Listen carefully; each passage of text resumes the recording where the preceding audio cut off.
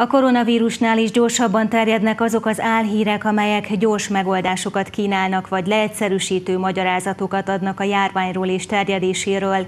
A Magyar Újságírók Romániai Egyesülete ajánlásokat fogalmazott meg a tájékoztatás és a tájékozódás helyes gyakorlata érdekében.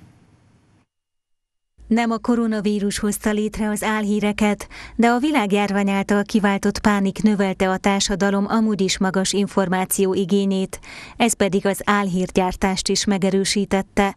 Az elmúlt hetekben számtalan valótlan vagy féligasságokkal operáló cikk, bejegyzés terjedt el futótűzszerűen a közösségi médiában. Az álhírek könnyen kiszűrhetők, Véli Kádár Magor kommunikációs szakértő. A legegyszerűbben azt lehet megvizsgálni, hogy az állításokat lehivatkozzák-e a cikkben, illetve hogy a honlap rendelkezik-e impresszummal. Amennyiben nem, úgy nagy valószínűséggel álhírrel van dolgunk. A legjobb az volna, hogyha elsősorban hivatalos forrásokat használnánk.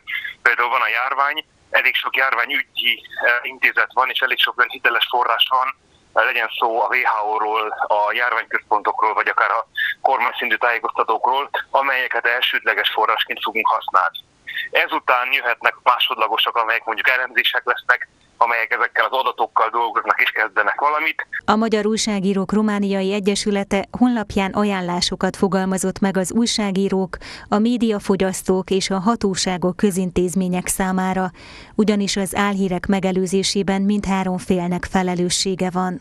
Megértem, de megértjük azt, hogy nagyon sok olyan intézmény, hatóság van, amely leterhel de ne érezzék az újságírók érdeklődését olyan nyűgnek, amit le kell rázni, meg kell oldani lehetőleg online az, hogy a, a szükséges információk eljussanak az újságírók keresztül a nyilvánosság. A Múra elnöke hibának nevezte, hogy az operatív törzs megtiltotta a helyi és megyei intézményeknek az információ közlést. A világjárvány okozta bizonytalan helyzet ugyanis joggal növeli meg az információra való igényt, ám a fogyasztásokban ugyanolyan elővigyázatosságra van szükség, mint az egészségünket érintő kérdésekben.